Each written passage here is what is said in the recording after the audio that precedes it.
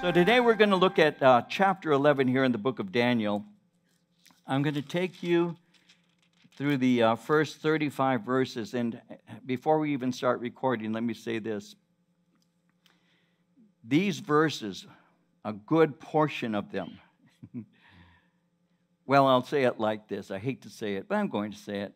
Um, it there, it's a history lesson. Now, some people like history and some don't. Some of us were taught history by gym teachers, and our gym teachers didn't like history. And so we grew up saying, I don't like history. And so just be ready to not like this study. But it's actually a study, and I'm going to, I'm just actually, because I'm not a historian, I'm going to be reading a lot of the information to make sure it's accurate to you. So be ready for that. Um, you may have come expecting a study that I normally do with where there's humor and things like that. Probably, I don't know if there'll be any or not, because this is really uh, a, a study that takes a lot of concentration to be able to give properly, letting you know in advance. Uh, as we move on into right around 29, verse 29 or 30, at that point, I'm going to relax a little bit and give you some things that are more natural for me in, in, in the way that I teach that's more natural. I'm just preparing you for this because this may be your first time here and you may be saying, I hated history in, in school, and now I get it in church too. And then I say, yeah, that's right. So, just letting you know in advance. Hopefully, hopefully we'll get through this together. Okay, beginning at verse one, reading to verse four. Daniel chapter eleven. Also, in the first year of Darius the Mede, I, even I, stood up to confirm and strengthen him and now I will tell you the truth. Behold, three more kings will arise in Persia, and the fourth shall be far richer than them all. By his strength, through his riches, he shall stir up all against the realm of Greece. Then a mighty king shall arise, who shall rule with great dominion and do according to his will. And when he has arisen, his kingdom shall be broken up and divided toward the four winds of heaven but not among his posterity, nor according to his dominion with which he ruled. For his kingdom shall be uprooted even for others besides those. So Daniel is receiving a revelation, a revelation of the future from an angel. And this particular angel has been sent to instruct him. In chapter 10, verse 21, the last verse of chapter 10, we read, I will tell you what is noted in the scripture of truth no one upholds me against these except Michael, your prince. And so, uh, in that verse there, the things that he's about to be seen are of great importance. The angel is speaking to him, and he says, I was sent to tell what was noted in the scripture of truth. This, in other words, relates to very important future events. By way of introduction, chapter 11 of the book of Daniel is the most argued over chapter in the book of Daniel because of its precision. Liberal scholars and skeptics argue because of its accuracy. They believe that because it is so accurate historically, that it had to be written after the fact. It's too detailed, they say, it's too specific. And so liberal scholars, quote unquote, believe that it was written in the second century before Christ. But on the other hand, conservative Christian scholars recognize it for what it is it's prophetic. God is a God who is able to give us declarations of the future. And so, why wouldn't we who believe in Scripture and believe in a God who knows all things, why wouldn't we take it for face value, what it actually is? Prophetic, because our God can tell us those things that are hidden from others. And Isaiah 46, verse 10 the Lord speaks of himself, saying, declaring the end from the beginning and from ancient times things that are not yet done, saying, My counsel shall stand, I will do all my pleasure. So God can declare to us, even as he says, the end from the beginning. Isaiah 14 24 says, The Lord of hosts has sworn, Surely as I have planned, so will it be. As I have purposed, so will it stand. And so this is prophetic. And as we look at it, we'll see that this chapter divides into two sections. The first 35 verses relate to the major rulers that, that arise in Persia as well as Greece. And verse 36 through 45 uh, we'll conclude with the last ruler, the Antichrist, who is in power at the return of Jesus Christ. And so in verse uh, 1 of chapter 11, that verse begins with the events, starting with Darius the Mede. For those who take notes, that's 539 BC. But it continues until the last Gentile ruler in the end times or the last days. The period from the death of Antiochus to the time of the end is skipped over. There's no mention of the church age because what we're looking at relates to Israel and not to the church. And so he begins here in verse 2. This angel is speaking, and it says in verse 2 I will tell you the truth. Behold, three more kings will arise in Persia, and the fourth shall be far richer than them all. By his strength, through his riches, he shall stir up all against the realm of Greece. And so this angel had stood in support of Darius the Mede. From the beginning of his rule, you saw that in verse 1. So this could speak of the angel aiding the transition from Babylonian rule to Persian rule. Some believe it speaks of encouraging favor to be shown to Israel. You see, in Darius' first year of reign, efforts were made to make him hostile to the Jews. It was, it was at that time that God had sent an angel to shut the mouths of the lions in the lion's den. Remember how the, the opposition had arisen against uh, Daniel, and because he continued his habit of lifelong prayer, and he prayed in the manner that he had since youth, they had set him up in order to put him in a lion's den by having the king give a, a right, a command that anyone who made that kind of prayer, except to him, would be, would be killed. And so we saw how there was antagonism towards, uh, towards Daniel at the beginning. And so what has happened is this angel could be saying that he's been there to strengthen Darius, and, and in doing so, helped him to be um, moving towards the reversing his policies against the Jews. And so the Babylonian Empire has passed. The Medo Persian Empire is now being addressed. And the angel says that he's showing him truth. He, he's sharing with him future events that will occur. And he speaks in verse 2 about three kings and a fourth that is richer and more powerful. This refers to four Persian kings that followed Darius. And these names, for those who may be of interest uh, of this, are Cambyses, Pseudo-Smerdis, Darius, and Xerxes. Okay, I saw you writing furiously. I saw that you were interested. But these are the kings that are spoken of. So Daniel points out that the conclusion of Persian rule was to be through Xerxes, Xerxes the first. Xerxes is found in other portions of scriptures. He's also known by the name of Ahasuerus in the book of Esther. And when you read history and, and all of that, uh, Ahasuerus led an expedition against Greece in 480 BC. He used his riches over a period of four years to amass a great army of hundreds of thousands. And with that army, he marched against Greece, was defeated, and never recovered. So in verses 3 and 4, it says, A mighty king shall arise, who shall rule with great dominion, do according to his will. And when he has arisen, his kingdom shall be broken up and divided toward the four winds of heaven, but not among his posterity, uh, his, his own ancestors, nor according to his dominion with which he ruled, for his kingdom shall be uprooted even for others besides these. And so here's your prophetic element that gets very precise. This is speaking of one called Alexander, Alexander the Great. So, what had happened when it says in verse 3 a mighty king shall arise who shall rule with great dominion. Well, as he did that, an undying hatred for Persia had been the result of Xerxes the first attack on the nation of Greece. And so that anger remained for quite some time because over a century later, Alexander the Great arose. And when Alexander arose, he conquered Persia. Verse 4 tells us, when he has arisen, his kingdom shall be broken up and divided. We know that Alexander the Great died an untimely death around when he was 33 years old.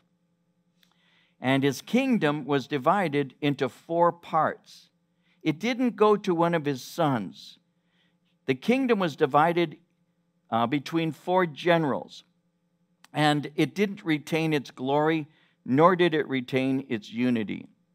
The four generals in history are Ptolemy, Cassander, Seleucus, and Antigenes.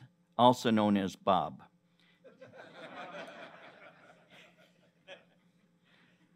there you go. Verse 5 Also the king of the south shall become strong, as well as one of his princes. He shall gain power over him and have dominion. His dominion shall be a great dominion. So when it speaks here, and it speaks of the king of the south, the king of the south also will become plural. Kings of the south uh, relate to Egypt. You see that in verse 8. The king of the north refers to the nation of Syria. And Syria is not identified by name here because it is yet to come into existence under the name Syria. Again, prophetic. The Egyptian king spoken of was Ptolemy the first. One of his princes who gained power over him was someone called Seleucus. Ptolemy and Seleucus combined to defeat Antigonus of Babylon. When this happened, Seleucus controlled the entire area from Asia, Asia Minor all the way to India. So over time, Seleucus, who was representing Syria, became more powerful than Ptolemy, representing Egypt. It says in verse 6 And at the end of some years they shall join forces, for the daughter of the king of the south shall go to the king of the north to make an agreement, but she shall not retain the power of her authority and neither he nor his authority shall stand, but she shall be given up with those who brought her, and with him who begot her, and with him who strengthened her in those times. So, after many years, an alliance was formed between Egypt and Syria. It came through an arranged marriage. Ptolemy II arranged a marriage for his daughter Bernice. She married someone named Antiochus II of Syria. That required Antiochus to divorce his wife Laodicea in order to marry Bernice. What it was was a political union intended to strengthen his power, but it didn't work. She did not retain the power of her authority. Ptolemy died within a few years of their marriage. Antiochus took back his previous wife, Laodicea, and she was so happy, she murdered him.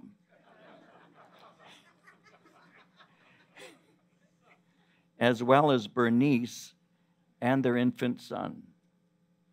That's all historically true and accurate. And so it's verse 7 But from a branch of her roots one shall arise in his place, who shall come with an army, enter the fortress of the king of the north, and deal with them and prevail.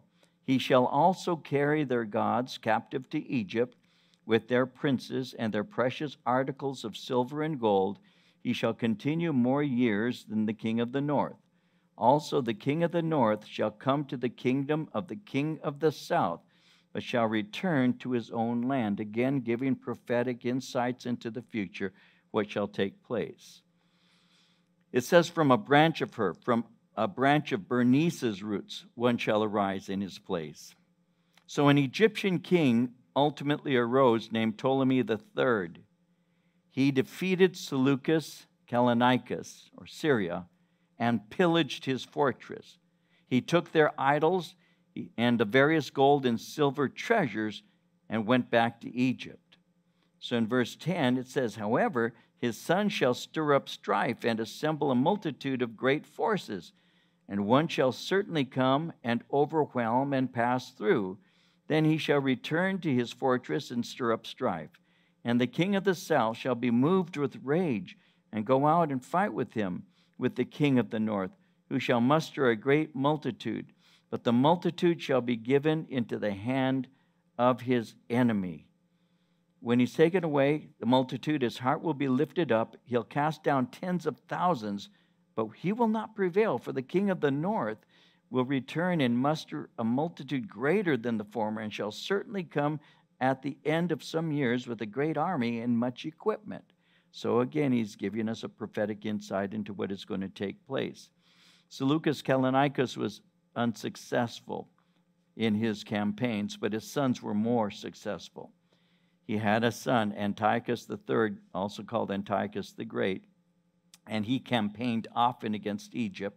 He retook all the land, all the way to Gaza, which is going south in Israel toward the Egyptian border. Notice in verse 11 how it says, The king of the south shall be moved with rage. Go out and fight with him, with the king of the north, who shall muster a great multitude, but the multitude shall be given into the hand of his enemy. So this caused the Egyptian king to rise up in opposition. And what he did is he, he assembled an army of 70,000 soldiers and completely defeated Antiochus.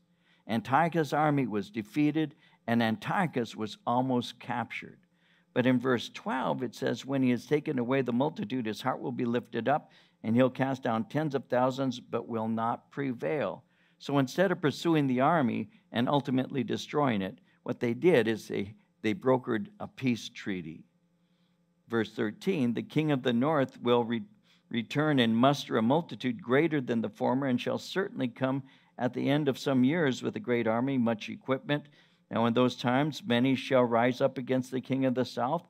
Also, violent men of your people shall exalt themselves in fulfillment of the vision, but they shall fall. So the king of the north shall come and build a siege mound take a fortified city, and the forces of the south shall not withstand him. Even his choice troops shall have no strength to resist. But he who comes against him shall do according to his own will, and no one shall stand against him. He shall stand in the glorious land with destruction in his power. And so Antiochus turned his attention elsewhere, and he began to conquer the lands east of Syria. In 201 BC, he once again came against Egypt. Verse 14 tells us, In those times many shall rise up against the king of the south. And he speaks in this way. Notice verse 14 also violent men of your people. Violent men of your people. These are Jews who entered into an agreement with Antiochus the Great.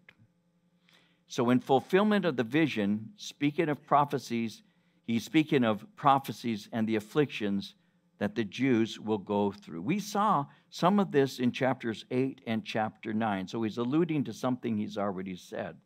Notice verse 15 the Egyptian armies were defeated and they, for, they and forced to capitulate at a place called Sidon. And so the surrender resulted in Syrian occupation of Israel all the way south to Gaza. In verse 17, he shall also set his face to enter with the strength of his whole kingdom, and upright ones with him Thus shall he do. He shall give him the daughter of women to destroy it, but she will not stand with him or be for him.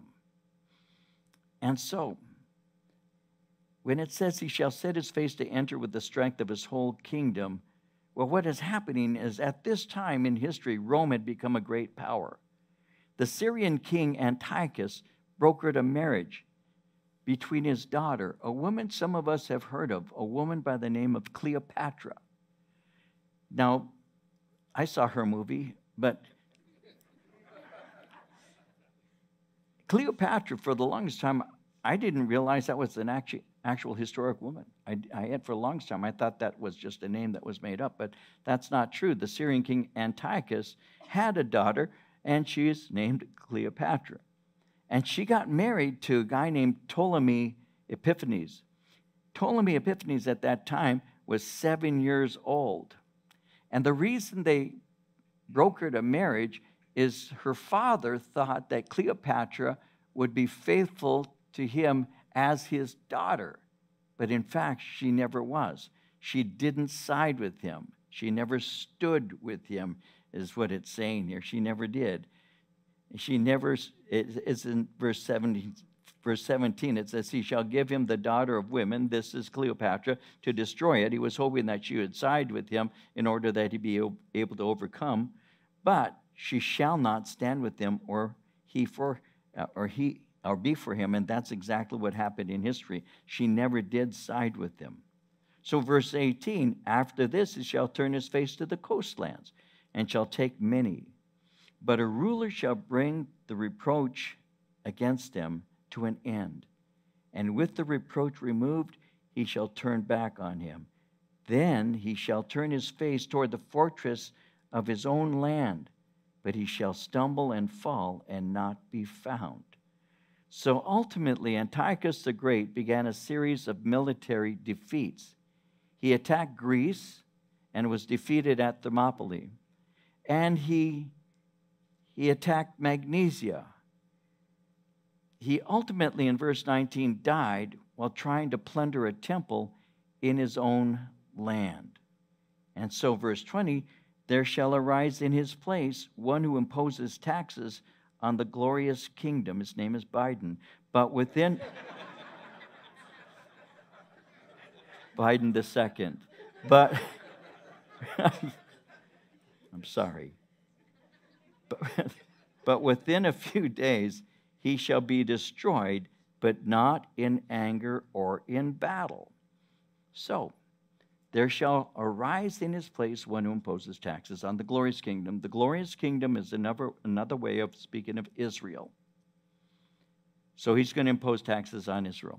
Seleucus the fourth, in order to pay tribute to Rome, he sent a tax collector to Israel that that tax collector might plunder the temple of Israel. It was filled with golden objects. But soon after he did this, he died a mysterious death, possibly poisoned by the tax collector. Now, in verse 21, in his place shall arise a vile person to whom they will not give the honor of royalty. He shall come in peaceably, come in peaceably, seize the kingdom by intrigue. With the force of a flood, they shall be swept away from before him and be broken, and also the prince of the covenant. And after the league is made with him, he shall act deceitfully, for he shall come up and become strong with a small number of people. And so this introduces us to the most evil king, to Syria's most evil king, Antiochus IV Epiphanes. This is an important figure, and we'll spend a few minutes looking at this. And basically, what he did is he stole the throne from the rightful heir. After seizing the throne, Antiochus began to strengthen his power through military means. He ultimately defeated Egypt and he began to occupy Israel. Notice verse 22 how it says, With the force of a flood, they shall be swept away from before him. That speaks of various military campaigns that he had victories in. But notice also in verse 22, he speaks of the Prince of the Covenant. The Prince of the Covenant is referring to the high priest, a man by the name of Onias. And Onias, the high priest, was murdered upon Antiochus Epiphanes' command. In verse 23, it says, After the league is made with him, he shall act deceitfully. And what he did is he developed treaties with various powers to strengthen his political position. Verse 24 tells us that he shall enter peaceably even into the richest places of the province, and he shall do what his fathers have not done, nor his forefathers. He shall disperse among them the plunder, spoil, and riches. He shall devise his plans against the strongholds but only for a time. So he shall enter peaceably, even into the richest places of the province. What he did is he campaigned against other nations, expanding constantly. He used the tactic of a sneak attack, and that way he was able to surprise his enemies. And the plunder that he got was used to secure allies and buy friends. In verses 25 and 26, he shall stir up his power and his courage against the king of the south, against Egypt with a great army. And the king of the south shall be stirred up to battle with a very great and mighty army, but he shall not stand, for they shall devise plans against him. Yes, those who eat of the portion of his delicacies shall destroy him. His army shall be swept away, and many shall fall down slain. And so he fought against and he defeated Egypt, is the point that he's making here. In verse 27, both these kings' hearts shall be bent on evil, and they shall speak lies at the same table, but it shall not prosper, for the end will, will still be at the appointed time. while returning to his land with great riches, his heart shall be moved against a holy covenant, so he shall do damage and return to his own land. So the Syrians and the Egyptians lied to each other so much that they couldn't even eat dinner together, is what he's saying. Even at the dinner table, they would lie. Neither was honorable in their agreements historically. And so what happens, verse 28 says that Antiochus returns to Syria. But when he did that, he went through Israel. And that is where Antiochus manifested his hatred for the nation of Israel. And we'll see this, and I'm going to develop this with you in just a moment. In verse 29, at the appointed time he shall return and go toward the south, but it shall not be like the former or the latter, for the ships from Cyprus shall come against him. Therefore, he shall be grieved and return in rage against the holy covenant and do damage. So he shall return and show regard for those who forsake the holy covenant. And forces shall be mustered by him. They shall defile the sanctuary fortress. Then they shall take away the daily sacrifices and, and place there the abomination of desolation. So, on a campaign against Egypt, Antiochus was successful, but not like in the past. There was a Roman, a Roman consul by the name of Laelius, and he intercepted him near Alexandria, Egypt. And when, when he was intercepted by uh, this Roman consul, he was ordered to immediately leave Egypt. And if he did not immediately leave Egypt, he was going to be attacked by Rome. It's, it's uh, reported that this Roman consul Laelius drew a circle around him and he said, You must make a decision before you leave that circle. So Antiochus did not want to, to uh, risk a war with Rome. And as a result of that, he left, but he left in a rage. Notice verse 30, it says, He shall be grieved and return in rage against the holy covenant. What he did is he vented his anger on Israel. And he began in verse 30 to show regard for those who forsook the holy covenant. What he did as he entered in is he began to show favor to the Jews who would side with him. And what he was doing is he was attempting to make the Jews into Greeks. And I shared this with you already before, but remember I shared that he had brought in the Greek culture the Greek language as well as the Greek religion, and he began to bring that into the nation of Israel. When he brought in the Greek culture and the Greek language, not to mention the religion, what he was intending to do was to Hellenize or Grecianize the Jewish people.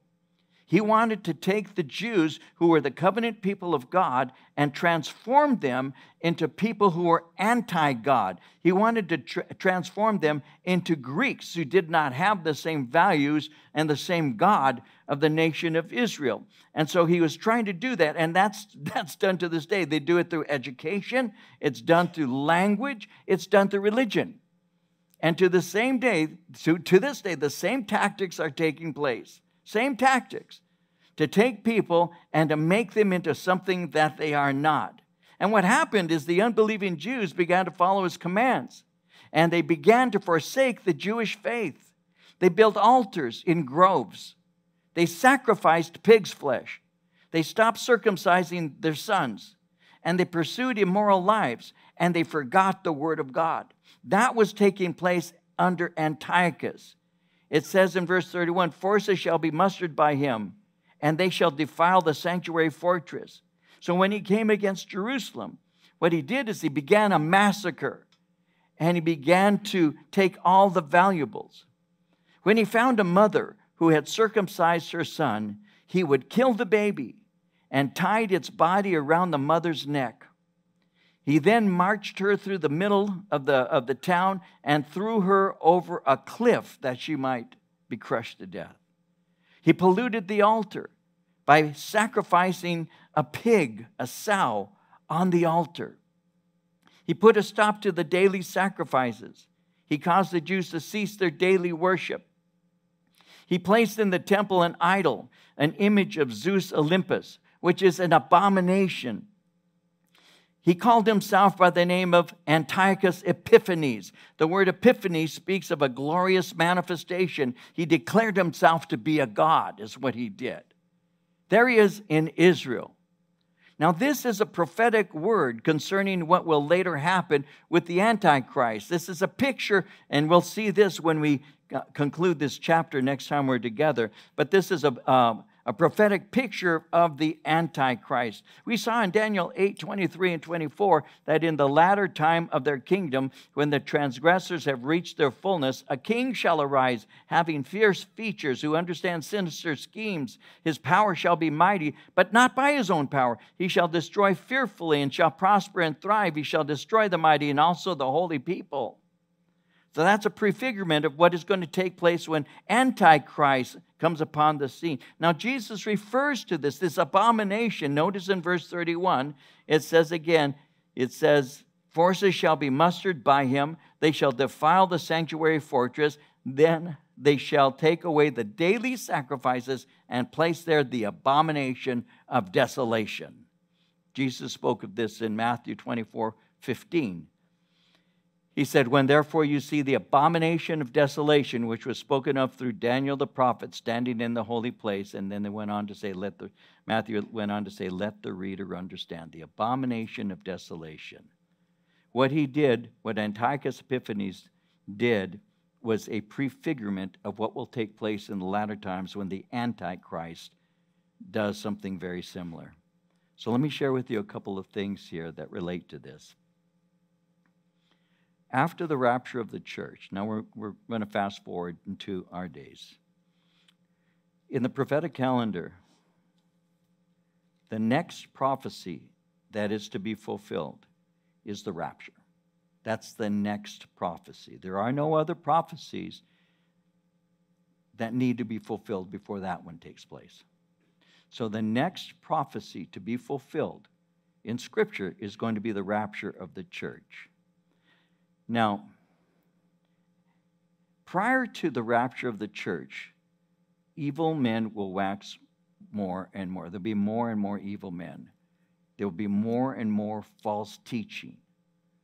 And so, when Jesus was spoken to and was asked concerning uh, what would the sign of his coming be, when will these these things be because he had in Matthew 24 Jesus had said that not one of the stones of the temple is going to remain but it's all going to be torn down and because it was such a, a wonderful wonderful temple such a beautiful building it had been uh, constant construction for 46 years and and the, the, his men had drawn his attention to this temple and how beautiful it is. You, see, you think this is beautiful. Indeed, physically, it was a beautiful building. It was, it was was something that that was just gorgeous in, in, its day. But Jesus said every, every, every rock, every stone is going to be torn down.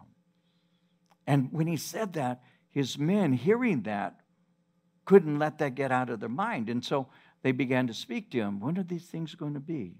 It's a sign of your coming. And you already know this, but I'll present it to you quickly. Um, what is the sign of your coming? You know, when we do last day studies very often, we, we speak concerning what are called the signs of the times, and, and that's all valid and that's all a right thing to do. We speak about what Jesus said, and he speaks concerning a variety of things. You know, there's wars, there's rumors of wars, there's pestilence, and, you know, things of that nature. And we, we see that in Matthew 24, verses 1 through 8. There are quite a number of things that he outlines and shares related to that. But as I've mentioned to you many times, I'll mention it again right now uh, Jesus was asked concerning the sign, not the signs. Very often we, we hear of signs of the times, and, and, and you can make a case for that phrase, of course. But the question was, what is the sign? It wasn't what are the signs. And so Jesus gave various things that would be taking place. But in answer to the question, what is the sign? His answer is very simple take heed that no one deceives you. And that is repeated three times. Walter Martin says four times in the 24th chapter of Matthew. Deception. What is the number one sign of the last days? What is the sign that everything's about to be consummated? What is the sign? The answer, if you take notes, if you don't already know that, deception. Paul said that people in the last days are going to heap unto themselves teachers having itching ears and are going to voluntarily turn them aside, turn aside from, from the truth and be turned voluntarily to fables. There will be many false prophets that are going to arise. And it's not just during the seven year period called the tribulation. False prophets are already on the rise. There are already antichrists during the time of John when he wrote First John. He said there are already many antichrists. The spirit of antichrist is already here. And so in the end days, what there's going to be is a proliferation of false doctrine. So when Jesus is asked what is going to take place, he says, uh, Take heed that no one deceives you. And he repeats himself more than once in chapter 24. The primary sign of the last days is spiritual deception, doctrines of demons.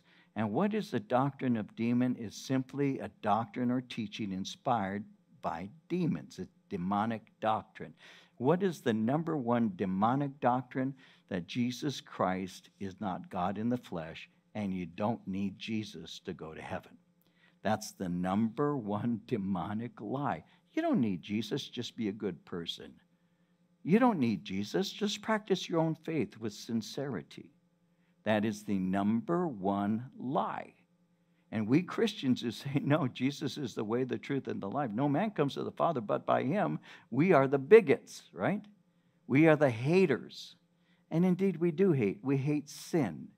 And we hate what sin does. So, yeah, we are haters. We hate the idea of people dying and going to hell. So, yes, we are haters. But we hate the things that God hates.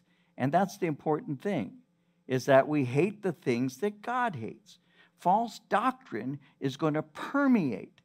And that's going to be during the last days. After the rapture, false prophets are going to continue to abound, and they're going to be the ones who promote the Antichrist. So, after the rapture, at that time, the man of sin is going to be revealed, the son of perdition, the Antichrist. He's going to be accepted because the world will be prepared for him by the false prophets. And as we've seen this before already, he begins in a non threatening way. He develops a loyal following. It is at that time that he's going to be signing a covenant with the nation of Israel. We saw this in chapter 9 of Daniel, verse 27. He shall confirm a covenant with many for one week, but in the middle of the week, the three and a half years, this is a seven year period, in the middle of the week, he shall bring an end to sacrifice and offering. On the wing of abomination shall be one who makes desolate, even until the consummation which is determined is poured out on the desolate. So he's going to have a covenant that he confirms. The covenant, as I've mentioned to you, most likely will include the rebuilding of the Jewish temple. When you go to Israel, you will go to a place that uh, they, they, you know, it's called the Temple Institute. They already have trained rabbis. They have trained rabbis. They have put together the utensils. They're ready to dedicate a temple and to have actual sacrifice. We actually go into the places, and you can see the robes that, they're go- that the high priest is going to wear. You can see them, they have them. It's all prepared right now. And so they're just waiting for their opportunity. But how are they going to be able to do that? How are they going to be able to rebuild a temple that has been unoccupied for, for all these, these years since 70 AD? How's that going to happen? Well, the Antichrist is going to establish a covenant. There's going to be an agreement with Antichrist and, uh, and Israel, and Israel is going to be able to rebuild their temple and once again reestablish the various sacrifices. But in the middle of the week, in, in the third and a half year of the tribulation, he's going to break that covenant. He'll demand worship in the temple. He declares himself to be God. In Second Thessalonians 2, verse 4, it says, He'll oppose and exalt himself over everything that is called God or his worship, so that he sets himself up in God's temple, proclaiming himself to be God, the abomination of desolation. Antichrist declares himself God. And that precipitates the three and a half years of great tribulation. Daniel 7:25 says, He'll speak against the Most High, press his saints, try to change the time, the set times and the laws. The saints will be handed over to him for a time, times, and half a time, for three and a half years. And so this is a prefigurement. This is a picture. The Antiochus Epiphanes, a picture of the final Antichrist who is to come. And we'll be looking at that in detail. I'm just giving you a taste of that. Next week, when we get together, I'll be sharing several things with you about that. And so, there the abomination, it says, he will place there the abomination, desolation. In his day, they uh, set up a, uh, an image of, of, uh, of uh, Greek God. In the last day, Antichrist will present himself as God. And then finally, verse 32 those who do wickedly against the covenant, he shall corrupt with flattery, but the people who know their God shall be strong and carry out great exploits. And those of the people who understand shall instruct many. Yet for many days they shall fall by sword and flame, by captivity and plundering. Now, when they fall, they shall be aided with a little help, but many shall join with them by intrigue.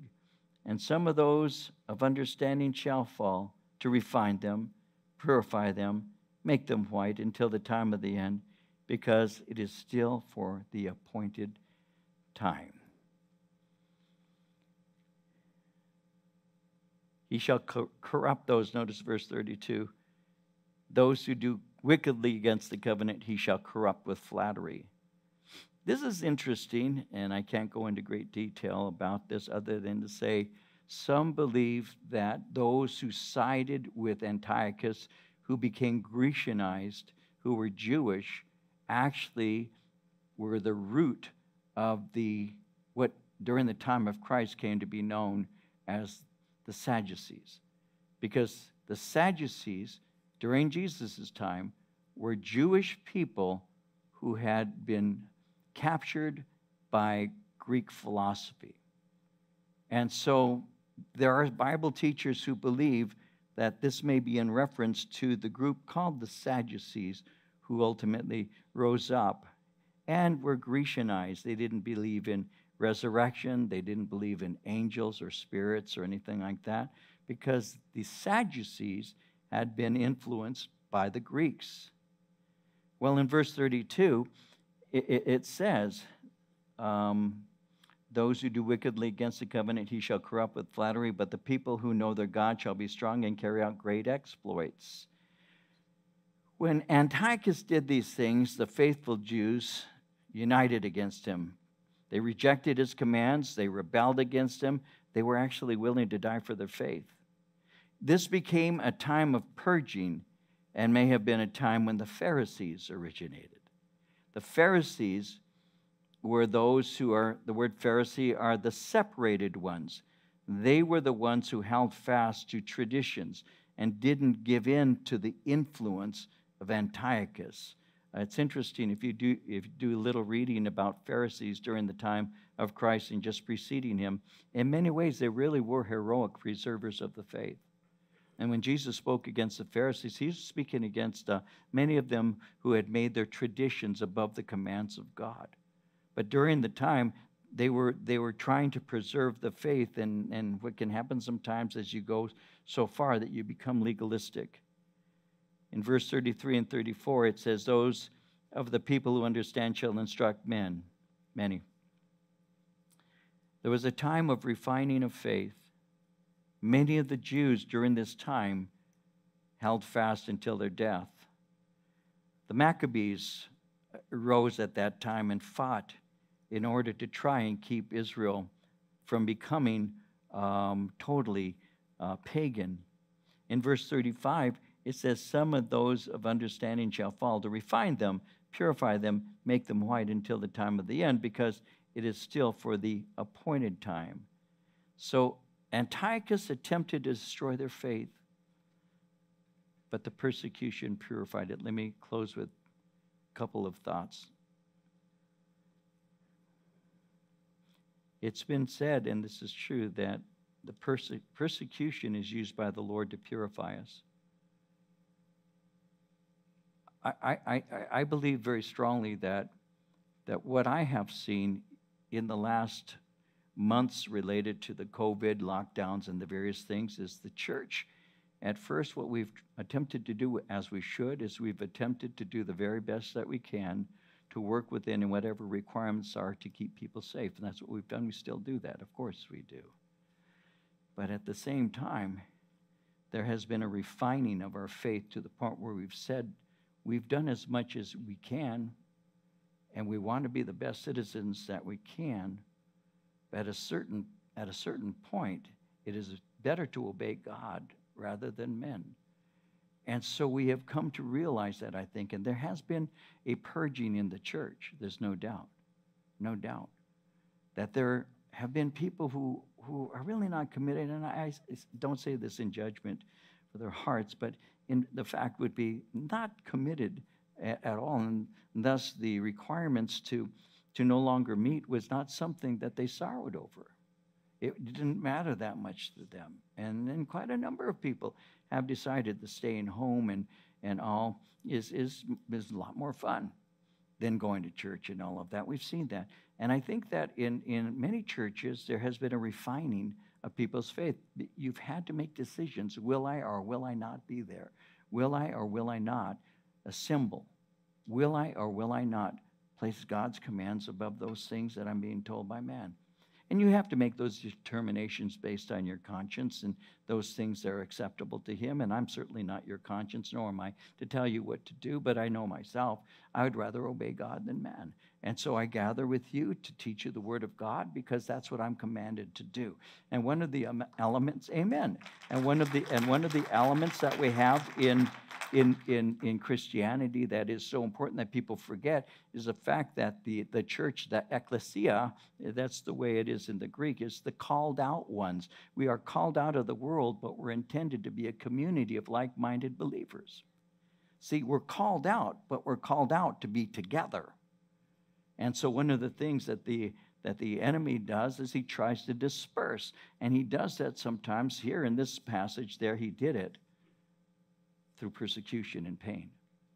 But the result of that was purging. In Isaiah 48, verse 10, I have refined you, but not as silver. I have tested you in the furnace of affliction. And that's what took place when Antiochus Epiphanes began to move against the Jews. Now, this occurs until the time of the end. This is still for the appointed time. In other words, these terrible things are simply a foreshadowing of what will occur in these last days. And next week, when we gather, we're going to see precisely what that is when we pick up at verse 40. And we'll close here at verse 39.